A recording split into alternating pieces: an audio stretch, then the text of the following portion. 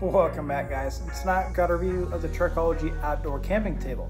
$41 on Amazon. Let's check it out. Alright, so it comes in a cardboard box.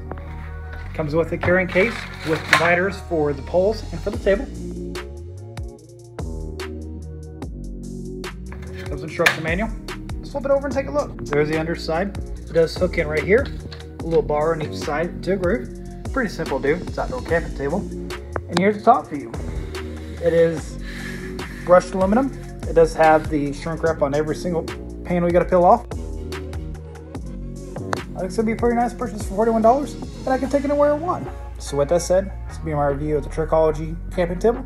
Go ahead, questions for you, put in the comments. If you want to review or try, in the comments. With that said, thank you guys very much for watching. Have a good night.